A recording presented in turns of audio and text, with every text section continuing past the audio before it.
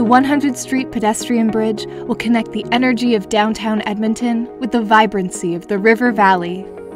This new iconic bridge will become the latest addition to Edmonton's skyline and build a continuous circuit along the edge of downtown.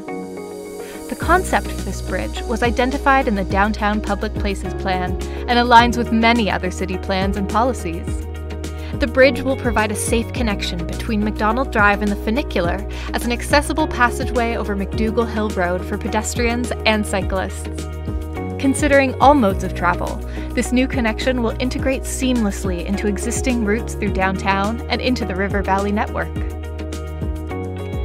The bridge will also create a destination public space, which aims to become a signature Edmonton experience for both residents and visitors. It will provide public access to some of the best views of the city and create a new downtown gathering space at the edge of the River Valley. Lighting and other design elements will create a dynamic downtown destination throughout the seasons. Currently in the concept design stage, there are three design concepts for the bridge. Option 1, the timber bridge, is made of low carbon timber construction and spans over McDougall Hill Road, extending over the hillside. The sculptural shape of the bridge creates a large social space and lookout point over the central structural support.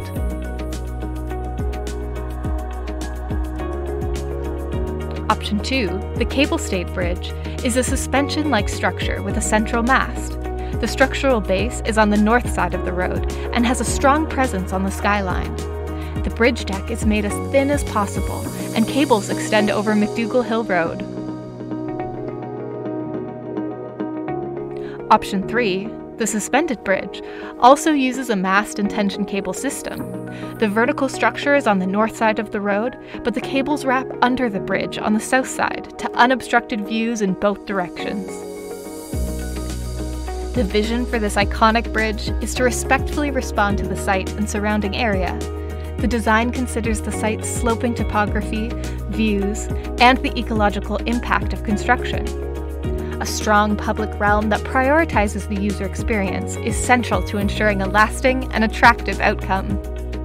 This new attraction for residents and visitors will help to revitalize the edge of downtown and signal further investments in our public spaces. To learn more and share your thoughts through the online survey, visit edmonton.ca slash 100 Street Pedbridge.